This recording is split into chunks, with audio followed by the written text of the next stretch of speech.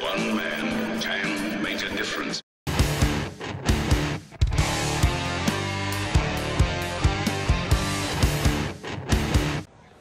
Hey everybody, Dr. Scott here.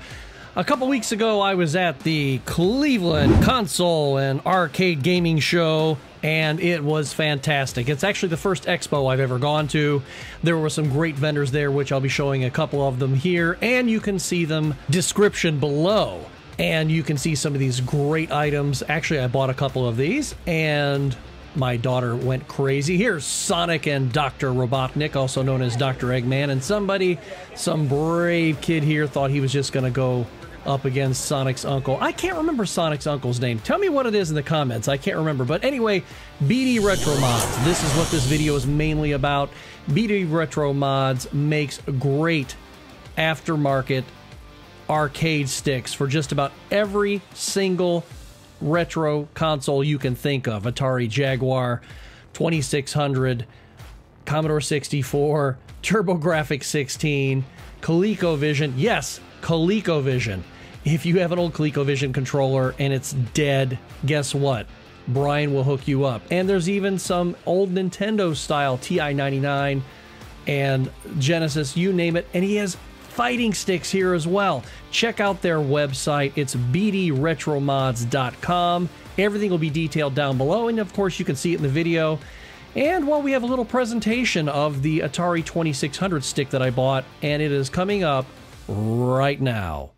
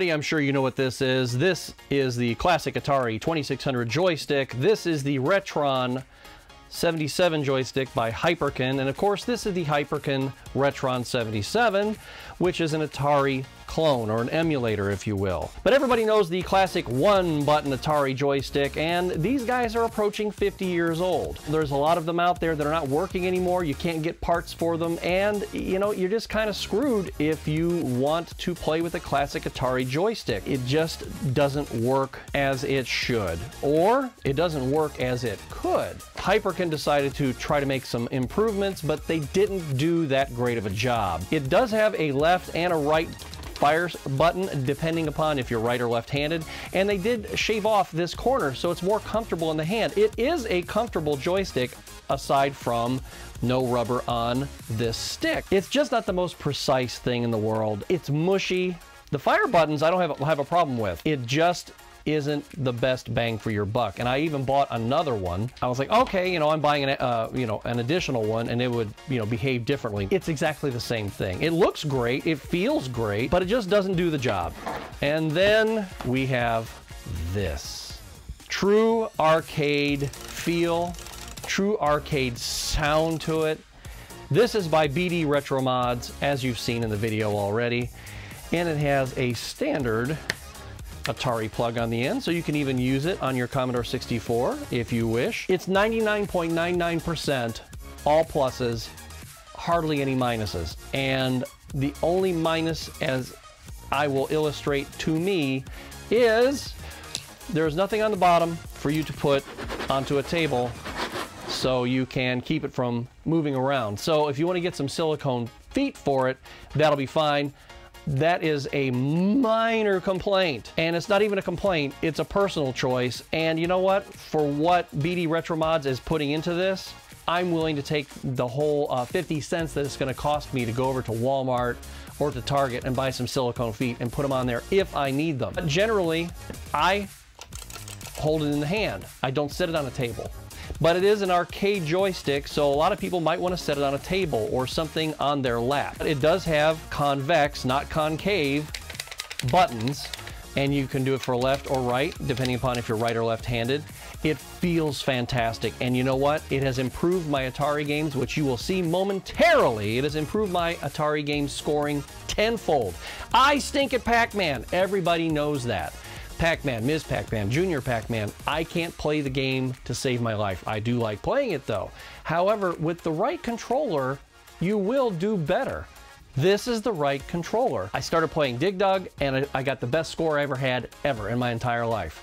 Seaquest, second best score, and I'm just sitting here goofing around, having fun. Second best score, just goofing around, as you'll see. And best score I ever had in Ms. Pac-Man. Going through those mazes like it was butter like it was butt, I tell you. It's 3D printed. This thing's gonna last you forever. If this thing lasts you the next 50 years, I wouldn't be surprised. Check out BD Retro Mods and uh, check out all the other vendors uh, in the uh, description. Check out the rest of the video. Thanks for watching. Check out BD Retro Mods.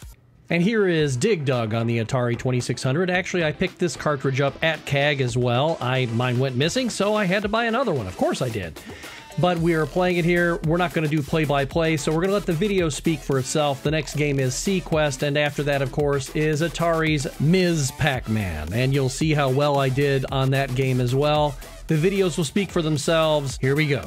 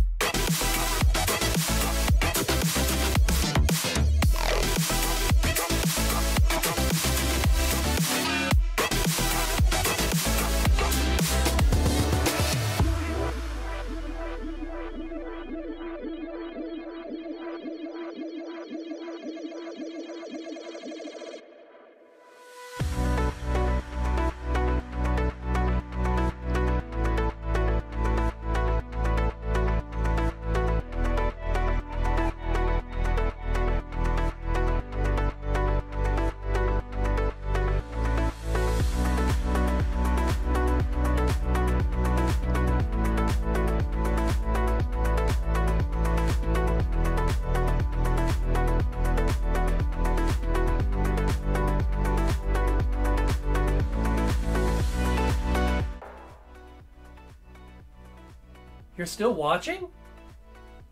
It's over. Subscribe and watch our other videos like that one or that one. Subscribe. Go on. Go on. Chicka chicka.